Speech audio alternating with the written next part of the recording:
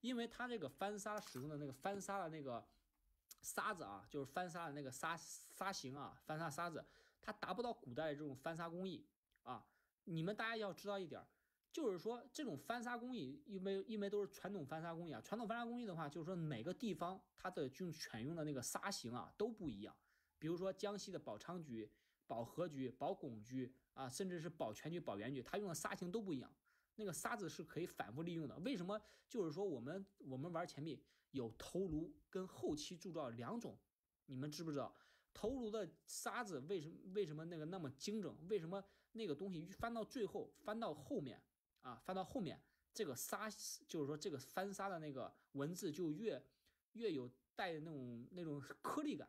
那种翻沙那种颗粒感，为什么会这样子？我告诉大家，是因为沙子它要是它要反复利用的。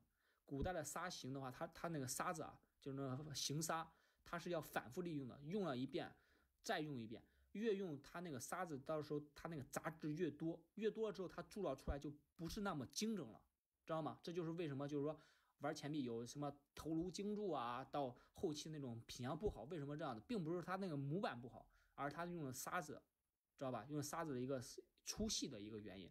其次的话，除了看这些东西的话，你们一定要看这种，呃，给你们讲沙钱的话，估计有点有点讲的有点有点有点脑壳痛。你们就看文字吧，就看文字吧，就这种文字，一一定要去看文字。文字的一个字根是非常重要的。其次的话，像这种大钱，不以明金钱为主吧，它这个穿口的这个修穿的这种工艺，也是决定了它这个工艺的一个磨损啊，也是决定了它是否是真币的一个。最决定的一个因素，因为为什么我们都有都有中间有个洞？其实说白了就是为了便于穿戴、便于佩戴，或者是便于便于流通的时候是计数或者干啥的。